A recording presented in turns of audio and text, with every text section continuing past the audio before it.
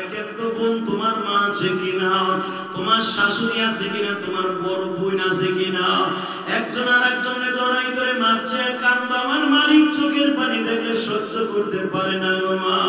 যেই ঘরে একদিন নতুন শাড়ি পরে ঢুকছিলাম মা, রঙিন শাড়ি পরে ঘরে ঢুকছিলাম বাসর করে পালকিতে চড়িয়া মা, ওই ঘর থেকে সাদা কাপড় পরিধান করিয়া বের হইয়া অন্ধকার ঘরে চলে যাই বাবা। ওই ঘরে তোমার দেখার মতো কেউ নাই রে মা ছেলে মেয়ে কেউ নাই রে মা স্বামী সন্তান কেউ নাই রে মা। মেহরবানি করে জড়াই ধরে কান্দ মা। আল্লাহ সবার চোখের পানি কবুল কইরা তুমি না কত খুশি হইতো মা। মা তোমার ইলিয়াস পরীক্ষা দিতে এই যে দেখো আজকাল মাহফিলের পরিচালক কান্দে।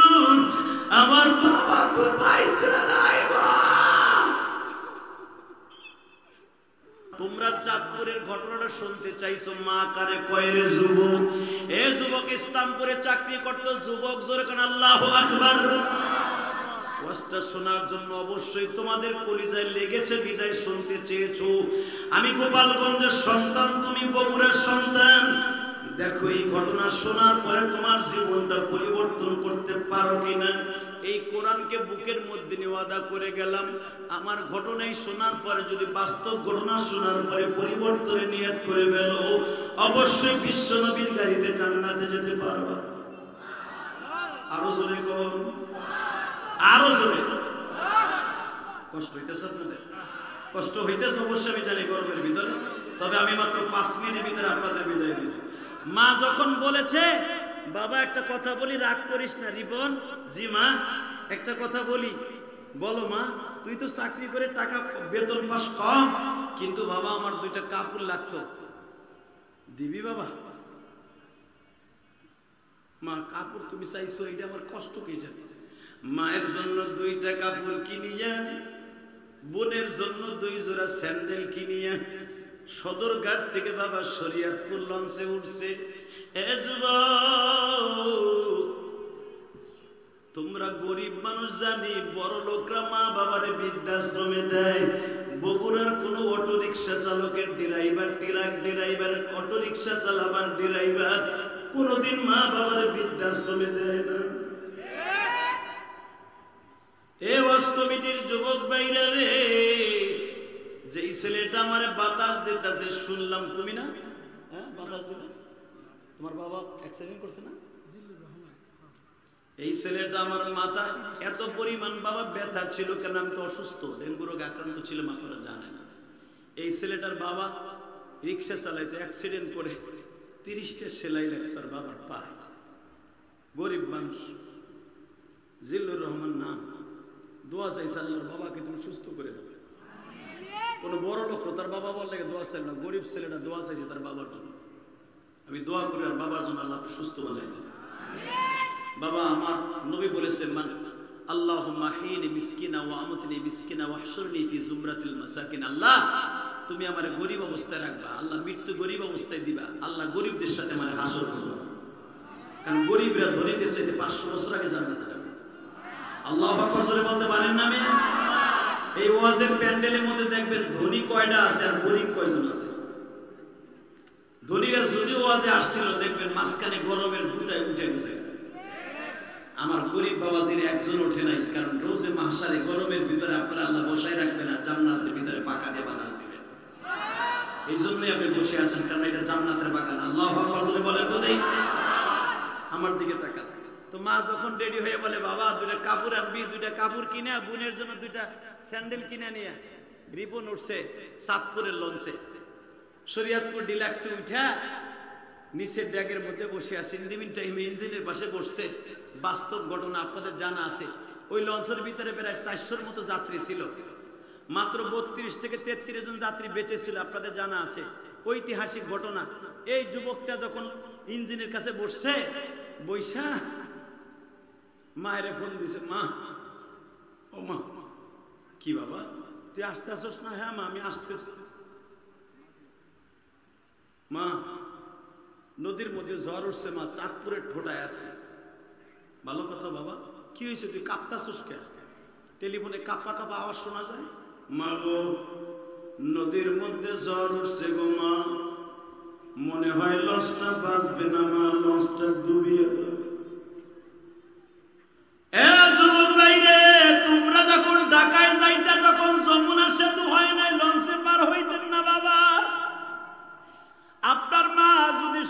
জমিনা নদীতে, ঢেউ উঠছে ঝড় ছেড়েছে, লঞ্চটা ডুবে যাবে।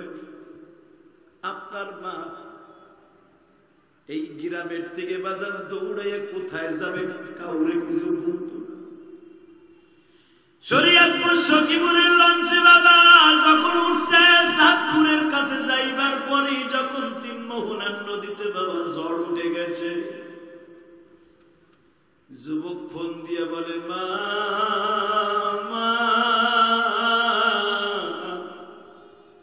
লঞ্চটা মনে হয় ডুবে যাবে। যুবকের মা বলতেছে, বাবা, তুমি কোন নদীতে আসো, শুধু একবার আমার কাছে বলো, জাদু।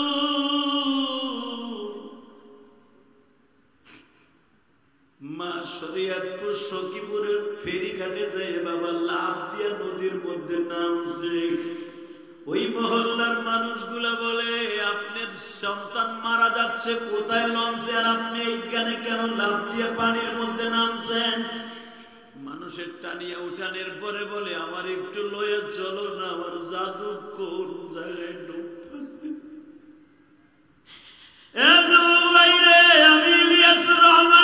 জিহাদি বারো বছর বয়সে।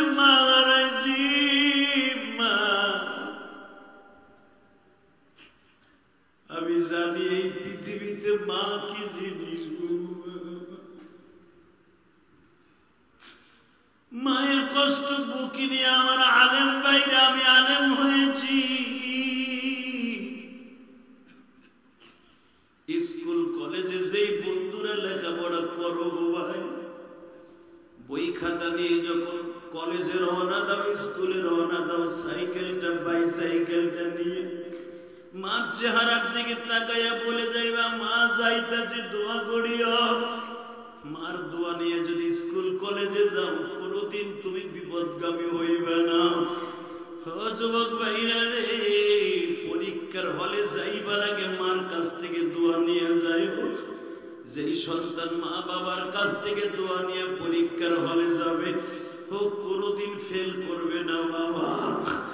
আমি ইলিয়াসুর রহমান জিহাদি যখন কামেল পরীক্ষা দিলাম গো বাবা। গৌহারডাঙ্গা মাদ্রাসায় দাওরা হাদিস পরীক্ষা দিলাম, গো বাবা। সব ছাত্র ভাইরা মা বাবার কাছে বলতে যায়, আমার তো মা নাই, আমি কার কাছে বলতে যাব?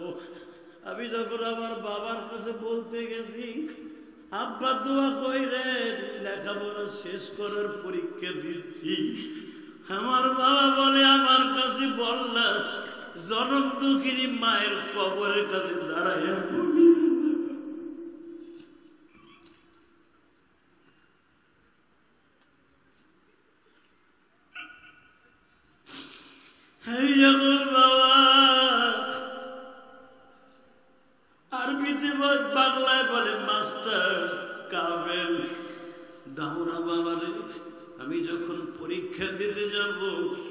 মায়ের কবরের পাশে দাঁড়ায় বলছিলাম মা ও মা, তুমি না কত খুশি হইত মা?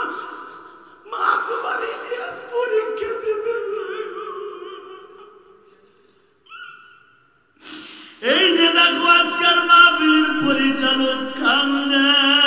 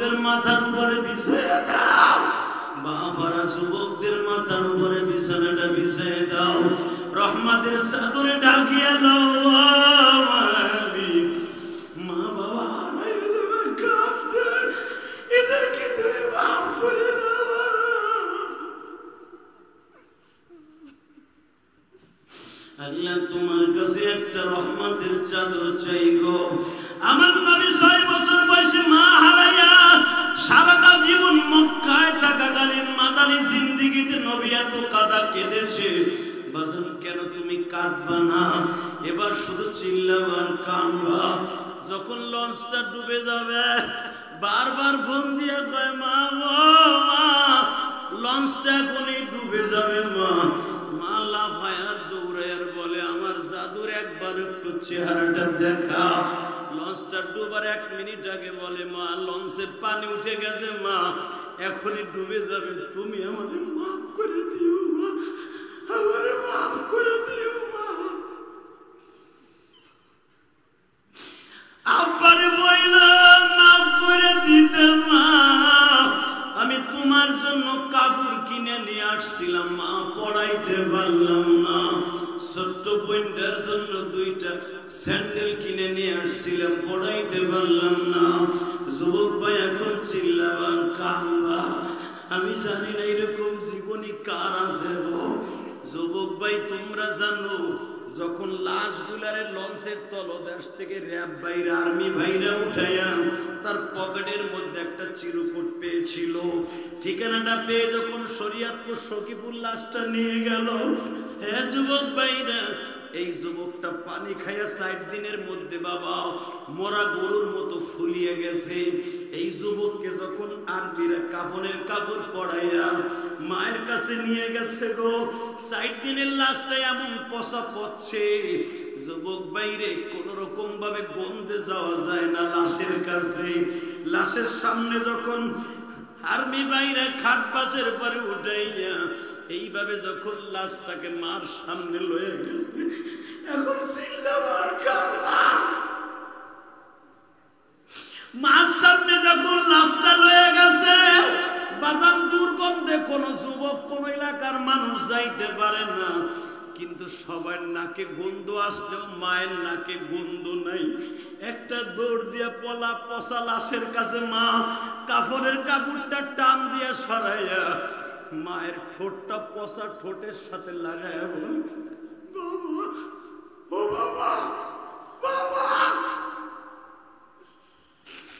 মায়ের জন্য কাপড় কিনে নিয়ে আসছিলাম। মায়ের কাপড় পরিধান করাইবার আগে তুমি নিজে সাদা কাপড় পরে কেন ঘুমিয়েছো বাবা ওই যুবকের পচা ঠোঁটের গোস্ত মায়ের ঠোঁটে লাগছে। ওই যে বাবা একটা চিৎকার দিছে গো বাবা। আজীবনের জন্য মায়ের ম্যাড হয়ে গেছে, পাগল হয়ে গেছে।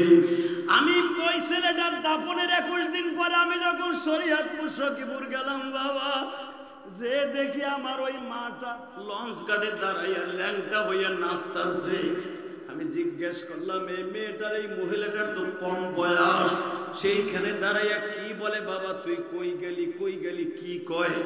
তখন ওই ওয়াস কমিটির এই সাইজের যুবকগুলা বলে, হুজুর, একুশ দিন আগে যেই ছেলেটার লাশ ভাইরাল হয়েছিল এই যে সেই মহিলা ওই ভাইয়ের মা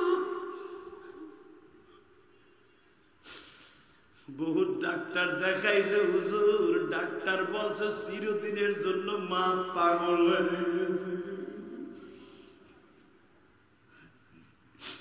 হে বগুড়ার যুবক ভাইরা রে। যেই মা সন্তানের লাশ দেখে চিরদিনের তরে পাগল হয়ে যায়। ওই মায়ের কোনোদিন কষ্ট দিস না। আমি জানি মার কি কষ্ট রে ভাই। আমি চার কোটি টাকা খরচ করে মসজিদ করছি, শুধু আমার মা বলেছিল। আমার বারো বছর বয়সী ইলিয়াস যে, তুই টাকার মালিক হইলে একটা মসজিদ বানাইস। বাইরে আপনাকে ওয়াজের হাতিয়া দিয়ে একটা মসজিদ বানাইছি। চার কোটি টাকা খরচ করে দেখে আসবেন কেরানীগঞ্জ আমি এখানে মাহফিলে আসার পরে যখন আমি আসতেছিলাম একটা ছেলে আমার হাতের মধ্যে একশো টাকা হাতিয়া দিয়া বলে, হুজুর, আমি জানি আপনি মসজিদ করতেছেন। হুজুর, আমি এই ওয়াজ কমিটির লোক না, আমি পাশের মহল্লার মানুষ। হুজুর, আমি আপনার মায়ের মসজিদে একশো টাকা দিলাম। আলহামদুলিল্লাহ বলতে পারলেন না। আল্লাহ বলেন তো। যুবক বাইরে আমি যদি পারি আমার মায়ের মসজিদ কোটার জন্য মায়ের একটা অর্ডার পালন করতে যাইয়া, যদি আমার জীবনে সব কিছু দিয়ে দিতে পারি, তোর পাও দূরে ধরে বলছি, তোর কিছু দিতে হবে না, তুই শুধু একটা দে, মায়ের চেহারার দিকে তাকাইয়া কোনোদিন করা মেজাজে তাকাবি না। রাজি আসো ভাই? বাবার দিকে তাকাইয়া কখনো করা মেজাজে তাকাবা না, বাবার দিকে মিষ্টি নজরে তাকাবা, মায়ের দিকে মিষ্টি নজরে তাকাবা, রাজি আছেন না নাই? কে কে রাজি আছেন দেখে? আল্লাহকে হাত তুলে দেখা তো ভাই, কে কে রাজি আছেন? আল্লাহ, তুমি দেখো, আমার এই যুবক ভাইদেরকে কবুল করে নিও নামান এ, আমি কয়েকজন যুবককে নিয়ে একসাথে যদি আল্লাহ কবুল করে জান্নাতে যেতে চাই, যদি আল্লাহ কবুল করে উল্টা পাল্টা বুঝো এ মিডিয়ার গোষ্ঠী। ওই যে অনেক উল্টা পাল্টা বুঝে, আগে পরে কাটছাট করে সারে, আর আমার মারে শুদ্ধ বকা মারে। আমি যদি জান্নাতে যাই, এটা বুঝেন, আমি কয়েকজন যুবক চাই, একসাথে আমরা ভাইরা জান্নাতে যাব। কি রাজি আছেন? আমি মুসাফির বললাম যদি আল্লাহ আমাকে জান্নাত নসিব করে যাদের চোখে পানি দেখছি তোমাদের চোখে পানি দেখছি একসাথে যেন আল্লাহ আমার একসাথে নবীর সাথে জান্নাত নসিব করে। জোরে কেন আমিন? আরও জোরে কেন আমিন? আমি দুই হাজার দুই হাজার এগারো সালে আমার বাবাকে নিয়ে হজ করছি আলহামদুলিল্লাহ বলেন। আমি তো প্রতি বছর দুই চারবার মক্কা মদিনে যাই। এবার পুরা রমজান মাস মক্কায় ছিলাম আলহামদুলিল্লাহ বলতে পারেন না? আবার রমজানের আগেও গেছি মক্কায়। এই বছরই তো গেলাম দুই তিনবার। আবারও যাব আগামী মাসে, ডিসেম্বর, আলহামদুলিল্লাহ বলেন। আপনাদের লেগে দোয়া করব। আমি যখন আমার বাবার নিয়ে হোস করি, আমি চিন্তা করলাম, একটা চান্স পাইছি জীবনে, এটা ছাড়া যায় না। বাবারে কাবা করে দরজার সামনে দাঁড় করাইয়া দুইটা পাও ধরে বলছিলাম, বাবা গো, আপনি যদি আমার মাফ না করেন, আমার মৌলানাগিরিতে কাম হইব না, বক্তাগিরিতে কাম হইব না, দুই হাজার এগারো সালে। আব্বা, আপনি আমার মাফ করে দেন, যেন আল্লাহ আমাকে মাফ করে দেন। আমার বাবার বুকের মধ্যে নিয়ে কাবা ঘরের সামনে দাঁড়ায় মাফ চাইছি। আজকে তোমার তোমরা আমার কথায় কান্দো, এমনি এমনি না। আমার বাবা কাবা ঘরের সামনের দরজাটা ধরে বলেছিল, আল্লাহ, আমার ইলিয়াস যতগুলো মাহফিলে যাবে, অন্তত একটা মানুষের চোখ দিয়ে হলো পানি ফেলাই শত শত মানুষ পানি ফেলছে, এটা আমার বাবার দো এটা আমার এলেমের বাহাদুরি না, আমার বক্তাগিরির বাহাদুরি না। কথা ঠিক না তুমি যদি জীবনে সুন্দর রেজাল্ট করতে চাও, তোমার জীবনে ভালো চাকরি পাইতে চাও কোটি কোটি টাকার মালিক হইতে চাও, মাত্র একটা মিনিট টাইম দিব। এক মিনিটের ভিতরে আমি কয়েকটা বন্ধু চাই, যাদের বাবা এই মাঠের মধ্যে আছে, ওই যুবকগুলো দাঁড়াও। কার কার বাবা আছে এই মাঠের মধ্যে দাঁড়াও কাদের কাদের বাবা আছে এই মাঠের মধ্যে দাঁড়াও। দাঁড়াও! এই মাঠে বসে আছে বাবা তারা দাঁড়াবে? যাগো বাবা, বাসায় আছে তারা না? যাদের বাবাই মাঠের মধ্যে বসা আছে, আপনি জানেন যে আমার বাবাই মাঠে বসে আছে। সেই যুবকগুলো দাঁড়াই থাকবে দাঁড়াও। দাঁড়াও! এ ওয়াজ কমিটির যুবক, তোর বাবারা নাই? দাঁড়া, সব দাঁড়া। যারা এখানে আছেন, যাদের বাবাই মাঠে আছে, তারা দাঁড়ান। ওই ছেলেটা দাঁড়াই দাঁড়ায় কান্দে দেখেন। এই এই যে ছেলেগুলা দাঁড়াইছে, বাপগুলা দাঁড়ান তো। বাবাগুলা দাঁড়ান, আপনি দেখতেছেন আপনার ছেলে দাঁড়াইছে? বাপগুলা দাঁড়াইতে বলছি, বাবাগুলা দাঁড়ান। বাবাগুলা দাঁড়াও! জান্নাতের খেলা খেলব কে কইছে তোমারে মাফ করবেন? আমি কোরআন শরীফ ধরে বলে গেলাম। তোমার আব্বা যদি আজকে মাফ করে দেয়, যুবক, তোরে আল্লাহ মাফ করে দেবে আজকে। আমি বলে গেলাম, মাফ করে দেবে। আমি বলার সাথে পাগলের মতো দৌড় দিবি।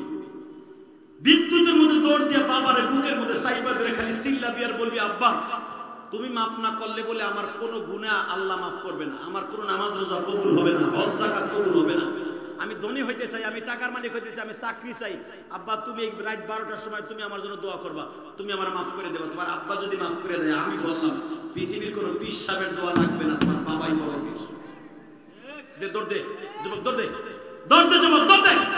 দে বাবার মধ্যে দেখাই ধরা লাগবে না, বুকের মধ্যে সাইবা ধরে কান্দতে থাকো। বুকের মধ্যে চাইবা ধরে থাকো। বাবারে জোরে বুকের মধ্যে চাইবা ধরো। যুবতী বোন, তোমার মা তোমার কাছে আছে না বোন? দেখো তো তোমার মা আছে কিনা? একটা দৌড় দিয়ে মায়ের বুকের মধ্যে মাপ একটা দৌড় দিয়ে মায়ের বুকের মধ্যে মাপ যুবক, তাড়াতাড়ি বাবার কাছে চা সারবি না সারবি না। বাবার বুকের মধ্যে কাঁদতে থাক, বাবার বুকের মধ্যে কাঁদতে থাক।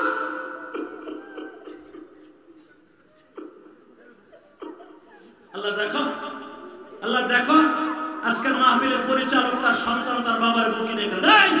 এই, ছেলেটা কি বোঝে তো এই ছেলেটা কি বোঝে? গুণা হয় নাই। আল্লাহ দেখো এই ছেলেটা আল্লাহ তুমি অনেক অনেক বড় অলি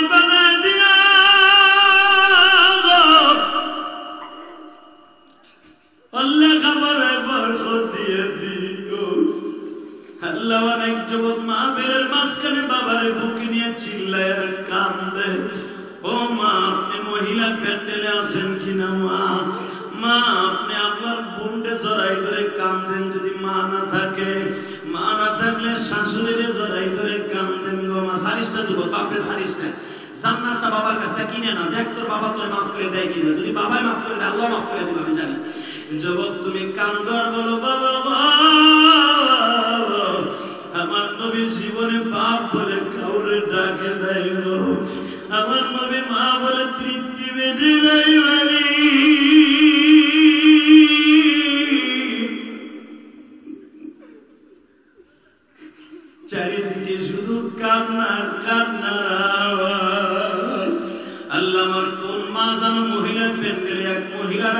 মহিলার জড়াই ধরে কান্দে, ও মা, দেখেন তো বোন, তোমার মা আছে কিনা? তোমার শাশুড়ি আছে কিনা? তোমার বড় বোন আছে কিনা? একজন আর একজনের জড়াই ধরে মারছে, কান্দ, আমার মালিক চোখের পানি দেখলে সহ্য করতে পারে না গো মা। যেই ঘরে একদিন নতুন শাড়ি পরে ঢুকছিলাম মা, রঙিন শাড়ি পরে ঘরে ঢুকছিলাম বাসর করে পালকিতে চড়িয়া মা, ওই ঘর থেকে সাদা কাপড় পরিধান করিয়া বের হইয়া অন্ধকার ঘরে চলে যাই বাবা।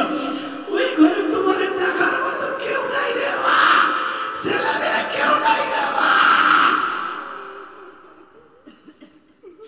স্বামী সন্তান কেউ নাই রে মা। মেহরবানি করে জড়াই ধরে কান্দ মা। আল্লাহ সবার চোখের পানি কবুল কইরা কত গুণা করছি মা।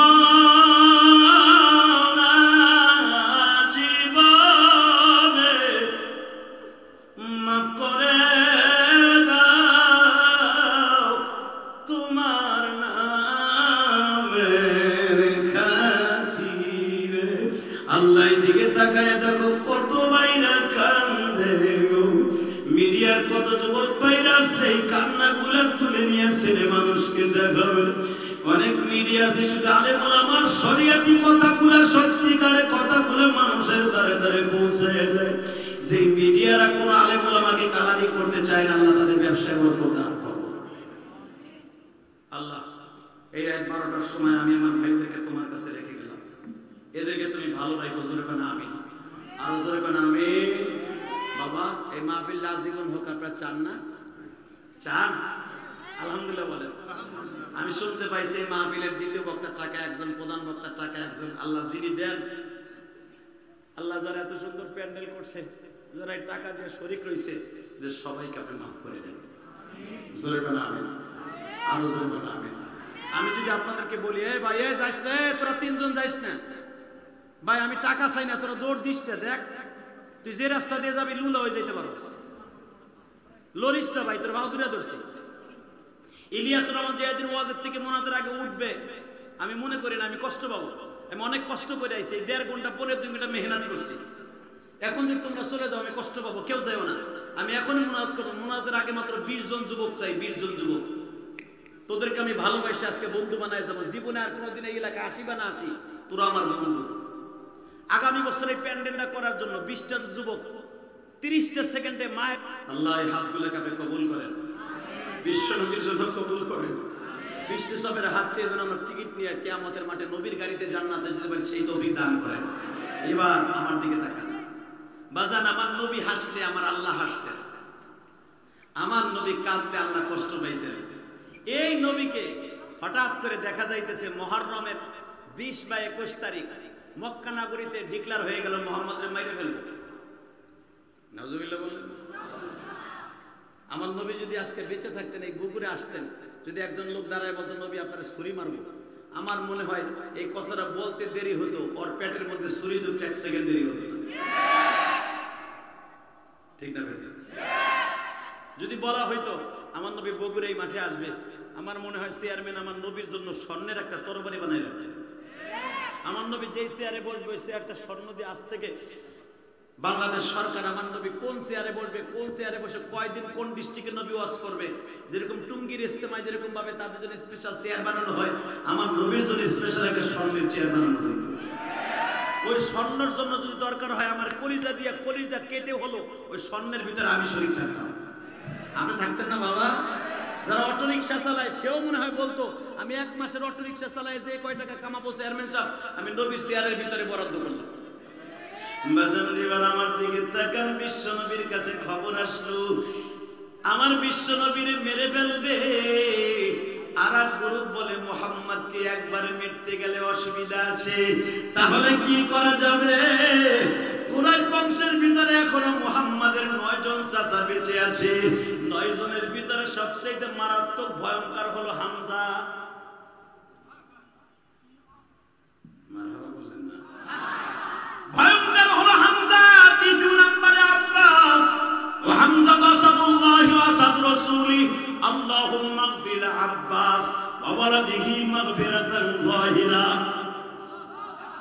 হুজুরের চাচার কোয়ালিটি নবী নিজে বলেন, ও হামজা হামজা, আমার বাঘ আমার!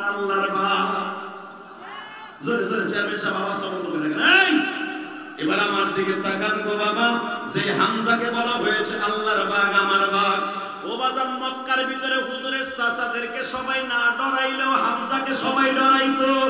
যখন ডিক্লার হয়ে গেল, নবী মোহাম্মদকে যে তোমরা রাতের অন্ধকারে মেরে ফেললাম, নবী মোহাম্মদের চাষারা নবীর ছেড়ে দেবে না। কত কি করা যাবে শোনো না। নবী মোহাম্মদকে মারার জন্য কতগুলো প্রসেসিং অবলম্বন করতে হবে, কোন প্রসেসিং অবলম্বন করতে হবে? এক নম্বরে নবী মোহাম্মদকে মেরে ফেলার জন্য কয়েকটা কোয়ালিটি অবলম্বন করো কি? নবী মোহাম্মদের গলার মধ্যে ফাঁস দিয়ে মারিয়া ওই বাবরা গাছের সাথে মক্কায় একটা গাছ ছিল বাবা।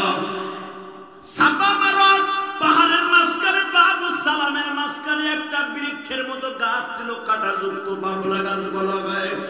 গাছটা তখনো পর্যন্ত এই গাছটা ছিল। ও বাজান রে, যেই গাছের গোড়ায় দাঁড়াইয়া মা সায়রা বলেছিল মা হাজেরা বলেছিল, ও মানি আমার স্তরে দুধ দেয়। আমার ইসমাইলকে শোয়াই রাখছি কাবাবরের সামনে। ওখানে তো কোনো গাছ নাই। এই গাছটা কি তুমি ইসমাইলের উপরে লাগাই দিতে পারলা না? অন্তত ইসমাইলকে নিয়ে ওখানে একটু বসবাস করতে পারতাম।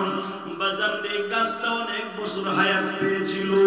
বেইমানগুলা টিকলার দিল, মোহাম্মদকে মেরে গলায় ফাঁস দিয়া মারিয়া, এই বাবলা গাছের সাথে টানায় রাখব, যেন মোহাম্মদের চাচারা বুঝতে পারে মোহাম্মদের কথা মক্কায় কেউ শুনতে চায় না। এই জন্য মোহাম্মদ গলায় রশি আত্মহত্যা করেছে। চিৎকার মেরে বলেন, নাউজুবিল্লাহ।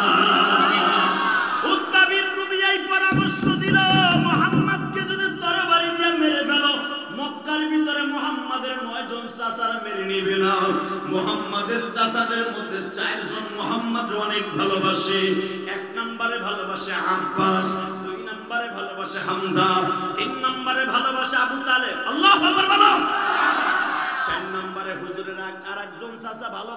তার নাম হলো হারেস।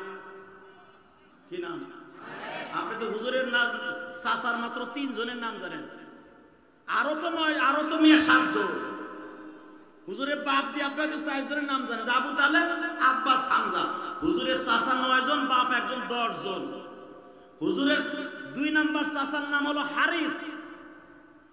এই তিনজন আমার নবীরে জানের চাইতে বেশি ভালোবাসত।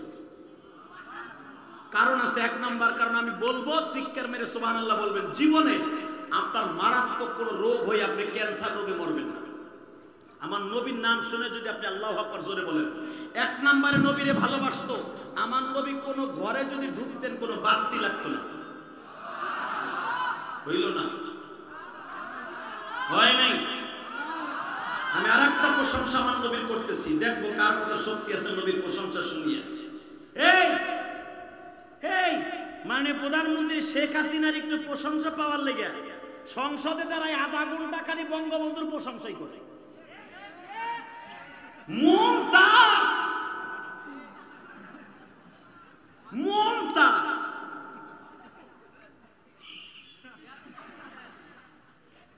হে আধা ঘণ্টা গান গায় প্রধানমন্ত্রী প্রশংসা নিয়ে নেবে।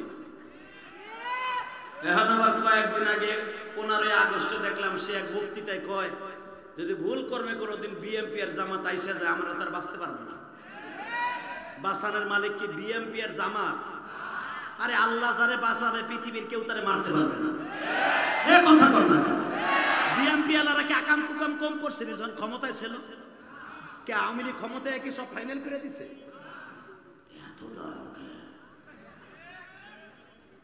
আল্লাহ যদি কাউরে বাঁচায় বিএমপি আসুক আর ওই টনি পিলাই আসুক আর আমেরিকার প্রেসিডেন্ট আসুক এই দেশ শাসন করুক কেউ তারে মারতে পারবে না। আর তুমি যদি কাউরে মাইরা থাকো তুমি ঘুষি খাইবা রেডি হয়ে থাকি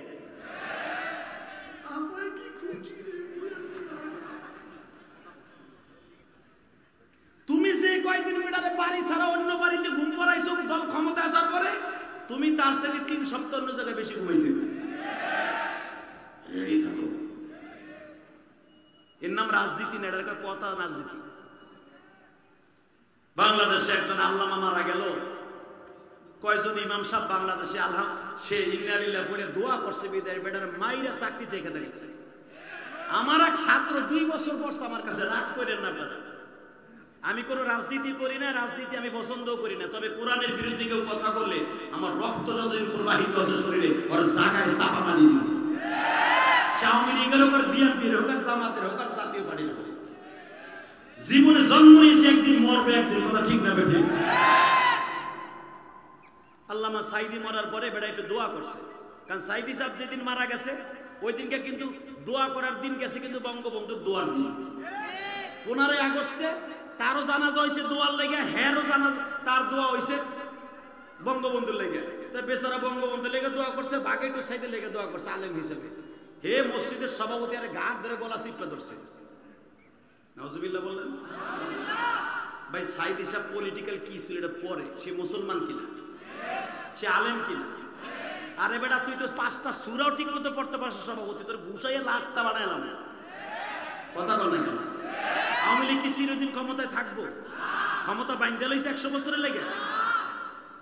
ক্ষমতা পল্টে যেহেতু কোনো সময় খাইতে পারে যে কোনো দল, কথা ঠিক না এই ইমাম সাহেবের যে অপমান করলে, আল্লাহ না করুক। যদি ওই ইমাম সাহেবের চাকরি গেছে, ইমাম সাহেব যদি বাইসে থাকে, অন্য সরকার ক্ষমতায় কোমরের মতো তরবারি তৈ বেড়ে যেতে কষ্ট পেতেছে শুধু আমার দিকে তাকায় বলেন ভাই, মুসলমান হিসেবে সবাই সবার জন্য দোয়া করব, কথা ঠিক না? এই নাটোর সাইরা সোনের একজন এমপি মারা গেছে, আমি দেখলাম কয়েকদিন আগে, না? আল্লাহ ওনাকে মাফ করে দিক, জোরে কেন আমি ভাই, কে কে কারে বিচার করবে আল্লাহ জানি না। অনেকে আলহামদুলিল্লাহ বলেন, এটা ঠিক না। এমপি সাহেব মারা গেছে, তার জীবনে কি কোনো ভালো কাজ নাই? অবশ্যই আছে। অবশ্যই ভালো কাজ আছে। চেয়ারম্যান সাহেবের একশো যদি খারাপ কাজ থাকে ওই ভাই, এমপি সাহেবের সাথে ভালো সম্পর্ক। বলেন, তিন লক্ষ টাকার ভালো একটা ব্যবস্থা করে দিবে। আল্লাহর বান্দা এরকম ভাবে এমপি সাহেবের কাছ থেকে যে দশটা মসজিদ এক লাখ করে টাকাও দেয় আল্লাহ তে রসিলা তার মাফ করে দিবে। তা আপনি খারাপ বলে কি হবে? আল্লাহর কাছে তার কিছু আমল আছে যেগুলো আল্লাহ এমনি মাফ করে দিবে। আপনি কেন আলহামদুলিল্লাহ বলবেন একজন মরে যাওয়ার পরে? আবার কারণও আছে, এমন কাম আপনি করছেন, আপনি মরে গেছেন, জালেমের হাতে বাঁচছে এই তো আলহামদুলিল্লাহ বলেন না, এগুলো বলা যাবে না। একজন মানুষ মরে গেলে তার জন্য দোয়া করতে হবে। আল্লাহ তাকে মাফ করে দিন শুরু করে আমি আরও শুরু করে আমি আমার দিকে তাকান, মক্কার বেঈমানগুলা জানে চারজনে মুহাম্মদ অনেক ভালোবাসে। মুহাম্মদকে একবার তরবারি আঘাত করে মেরে ফেলানো যাবে না।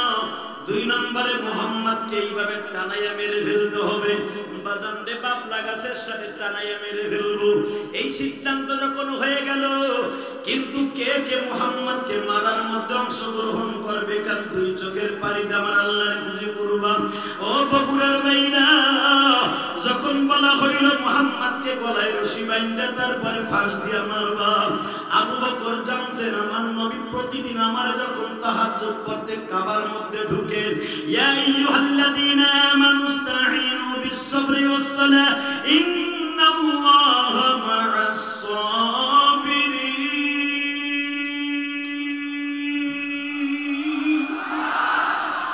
আমার নবী রাতের অন্ধকারে কাবা ঘরের সামনে দাঁড়ায় দাঁড়ায় সেজদার দ্বারা চায়, আমি জানি, আমি আবু বকর প্রতিদিন নবীর বডিগার্ড হিসাবে নবীর পিছনে দাঁড়ায় নামাজ পড়ি।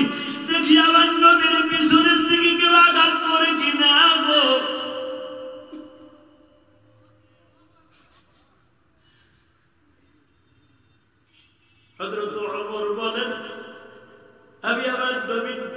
পিছনে বাম দিকে দাঁড়ায় নামাজ পড়ি। দেখি আমার নবীর কেউ পিছনের দিকে আক্রমণ করে কিনা বামের দিকে। উসমান বলে বলে, আমি আমার নবীর পিছনে বাম দিকে, ডান দিকে নয়, সোজা দাঁড়ায় থাকি। আমার নবীর কেউ আক্রমণ করে কি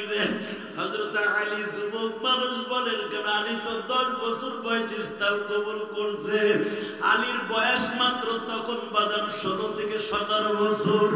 আলী মনে মনে ভাবে, আমি আমার নবীর কাবাগরের উল্টা দিকে থাকব।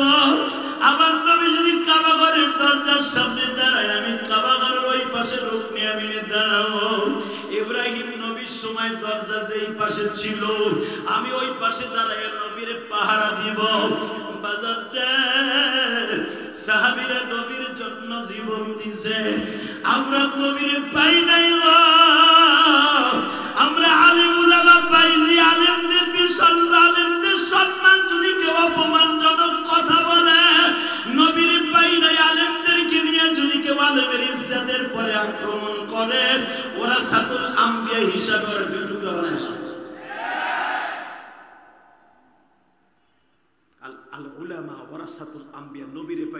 ওয়ারেস নবীর ওয়ারেস নবী মান আকরামা আলিমান কান্নামা আকরামানি। জালেমকে সম্মান করে সে আমি নবীরে সম্মান করব। এটা আমার বাবার কথা নয়। আলেমকে সম্মান করবি, যে করবি, ওর সাথে আমার কোনো আপোষ থাকবে না। কথা বলেন?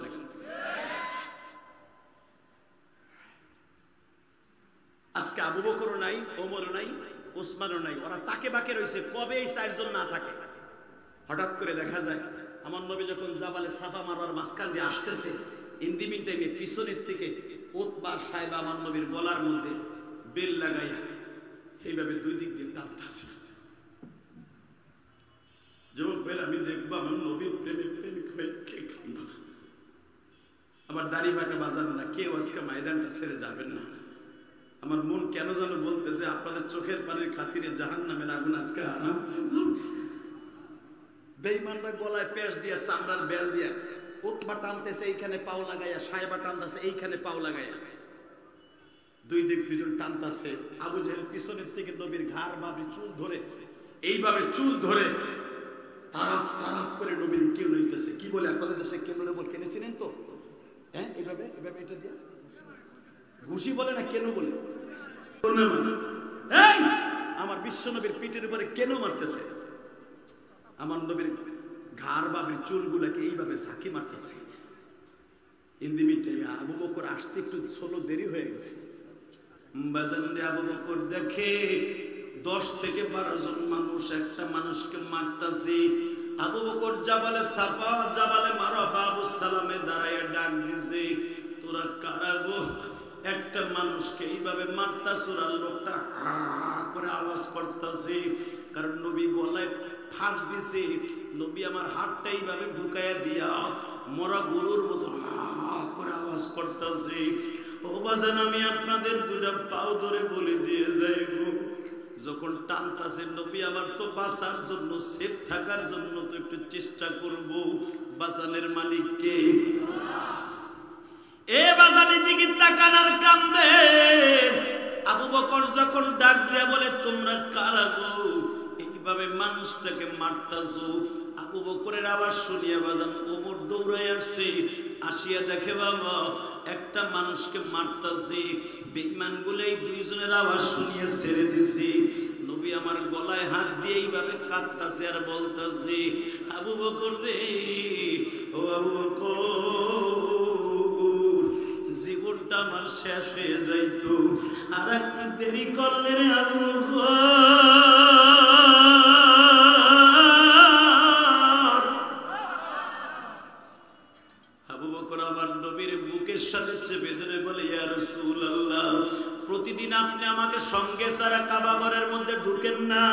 আজকে কেন আপনি একা একা আসলেন? আমার নবী বলে, আবু বকর রে, আমি তো বুঝতে পারি নাই বেঈমানগুলো পেটে বসে আছে। আমাকে মেরে ফেলার জন্য তাদের ষড়যন্ত্র আমি জানতে পারি নাই। অবাজান এবার আওয়াজ দিবেন, হযরত আবু বকর আমার নবীর মাথাটা বুকের মধ্যে নিয়ে ভাই, এমনি মেসেজ করতেছে, আবু বকর দৌড়ায় যে যখন বলতেছে, আসমানে আমারে এক কলস পানি দি আসমা হলো আবু বকরের বড় মেয়ের নাম আয়েশার বড় বাবা। যখন বলতেছে মানে তাড়াতাড়ি এক মশক পানি দে, এক মশক পানি দেখিয়া পানিটা নিয়ে যখন দৌড়ে আসছে, নবী আমার আবু বকরের রানের উপরে শুয়ে আছি। আবু বকর রানের উপরে রেখে যখন পানিগুলা ঢালতাছে, বাজান দিয়ে এবার একটা আওয়াজ দিবেন। আবু বকর নিজে বর্ণনা করেন আমি যখন নবীর মাথার চুলগুলা আস্তে করে টান দিলাম, গুয়ার থেকে যেমনি সোবলা গুলা উঠিয়ে যায় আমার নবীর চুল মোবারকগুলা উঠিয়ে যাইতেছে। আবু বকর বলেন, বিশ্ব নবীর লই আমি চলে গেলাম খাদিজার বাড়ি। তখন মা খাদিজা ঘরের মধ্যে দাঁড়ায় দাঁড়ায় অপেক্ষায় আছে, আমার বিশ্ব কখন নামাজ শেষ করে আসবে? আমার নবী যখন দেখলেন বকর আমার নবীরে কোলে করে বাসায় ঢুকছি, তখন তো নামাজ ফরজ হয় নাই বাবা। তাহাজ্জুদের নামাজ শেষ করার জন্য আমার বিশ্ব নবী আসছিলেন কাবাগরের মধ্যে। মা খাদিজাতুল কবরা রাদিয়াল্লাহু তাআলা ঘটনা আপনারা জানেন। খাদিজার বয়স যখন 17 বছর, বিশ্ব নবীর বয়স মাত্র তখন 4 দিন। আল্লাহু বলেন। খাদিজা তার বাবার সমস্ত সম্পদ দিয়ে বিশ্বনবীর কাছে বিবাহ বসেছিলেন।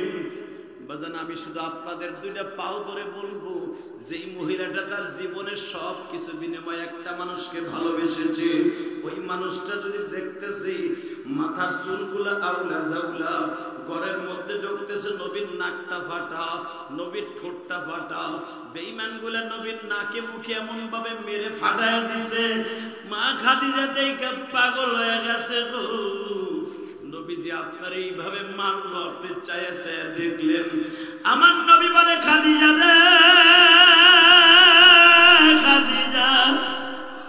আমারে যখন বেইমানগুলা মারে, জিব্রাইল আমার পিছনে দাঁড়ায় ছিল জিব্রাইল বারবার বলেছিল, নবীজি, একবার শুধু অর্ডার দেন বেইমান গুলাকে শেষ করে ফেলব। ও খাদিজা, আমি পারমিশন দিলে বেইমানের বাড়িটা ধ্বংস আপনাদের দুইটা পাও ধরে বলে দিতে চাই। আমার নবীর যদি জিব্রাইল সাহায্য করার জন্য পিছনে দাঁড়ায় থাকতে পারে, আমার নবীর ইজ্জতকে জমিনে টিকাই রাখতে যায়, যদি জীবন দিতে হয়, জীবন দিতে রাজি আছি না নাই? রাজি আছি না নাই? যদি বগুড়ার জীবনে শুনতে পাই কোনদিন, কোন নাস্তিক আমার নবীকে গালি দিয়েছে, সে যেখানে বসেই হোক যেই দলেরই হোক, ওর সাথে আমার কোনো আপোষ থাকতে পারে না। কাকে রাজি আছো? দু হাত তুলে আমার আল্লাহকে দেখায় দাও।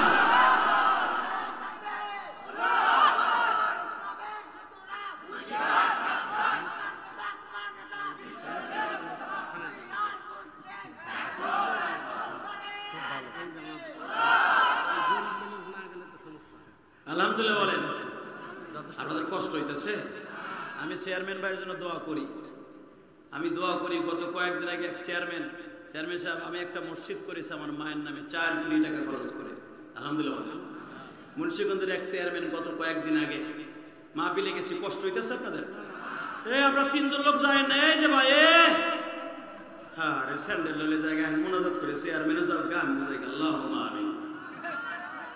হাত তোলেন। চাচা ধরে লেছে আর চিন্তা তাহলে আমি না কইছিলাম এটা টাইনে টিনে ধরতে। তো এক চেয়ারম্যান, গত কয়েকদিন আগে আলহামদুলিল্লাহ বলেন আলহামদুলিল্লাহ বলেন, সব চেয়ারম্যান একরকম না ভাই, সব চেয়ারম্যান এক খেলা নিয়েন না। চেয়ারম্যান সাহেব ওই মসজিদে, এরকম যেরকম আপনাদের চেয়ারম্যান আজকে দশ হাজার টাকা দিয়েছে এই মসজিদে, আলহামদুলিল্লাহ বলেন। আবার এক লাখ টাকা, আর এক লক্ষ টাকা সরকারি ভাবে হোক, যেভাবে হোক আমার ভাই দিবে। আলহামদুলিল্লাহ বলতে পারলেন না? আল্লাহ চেয়ারম্যান সাহেবের হায়াত লম্বা করে, জোরে কেন আমি ঠিক ওরকম মুন্সিগঞ্জের চেয়ারম্যান, ওই মাহফিলে দশ হাজার টাকা দিয়ে হে যাইব সবার আগে, নিয়ত করছিল। ওয়াজ শুনে সে মায়ের ভক্ত, মা মারা গেছে। মায়ের ওয়াজ শুনে আর যায় নাই। তো হঠাৎ করে থানার থেকে একটা ফোন আসছে, চলে যেতে হবে। উনি শুনছে যে আমি আমার মায়ের নামে একটা মসজিদ করছি। উনি আমার মসজিদে দুই হাজার টাকা দিয়া, আর ওই মসজিদে দশ হাজার টাকা দিয়ে বিদায় নিচ্ছে। আমি চেয়ারম্যানের কাছে কিচ্ছু চাই না। উনি দশ হাজার টাকা দিয়েছে, আমি খুশি এই মসজিদে। এক লক্ষ টাকা দেবে ওয়াদা করছে, আল্লাহ যেন দেওয়ার তৌফিক দেয় করে আমি চেয়ারম্যান সাহেবের হঠাৎ করে একটা ফোন আসছে একটা লোকের হসপিটালে এখন চলে যেতে হবে। কোন আলেম তার মা বাবাকে বৃদ্ধাশ্রমে রাখে না। যারা শিক্ষিত শয়তান, জজ, ব্যারিস্টার, এমনকি বড় বড় শিক্ষিত শয়তানগুলা মা বাবাকে বৃদ্ধাশ্রমে রেখে আসে। আমি একটা বৃদ্ধাশ্রম ভিজিট করতে গিয়েছিলাম করোনার পরে। কষ্ট হইতেছে আপনাদের? অল্প সময়ের ভিতরে বিদায় নেব। বনানীর একটা বৃদ্ধাশ্রম ভিজিট করার জন্য গিয়েছিলাম। আল্লাহর বান্দার নাম ছিল কারামাত আলী। আমার অনেক কষ্ট লাগছে বাবা। একটা বৃদ্ধা মার কাছে গেলাম, মায়ের সামনের কয়েকটা দাঁত নাই। আমি দেখতেছি সামনের দাঁত নাই, দাঁতগুলো লড়তাছে। ওই বৃদ্ধাশ্রমের কারামাতারে জিজ্ঞেস করে, মা, আমি কি আপনারে খাওয়ান দেই না? বাবা, জিজ্ঞেস করেছে, মা, আপনারে কি আমি কাপড় চুপড় দেই না? হ্যাঁ দেন। মা, একটা কথা বলি, আপনার সবচেয়ে বড় চাওনা কি আছে, মা, মরার আগে? মা, বলতেছে আমার ছেলেটা যদি একবার আমার বাসায় নিয়ে আমার নাতি পোতার সাথে এক লোকমা ভাত খাওয়াই যুবক ভাইরা, আমি তোমাদের দুইটা পাও ধরে বলে দিয়ে যাই।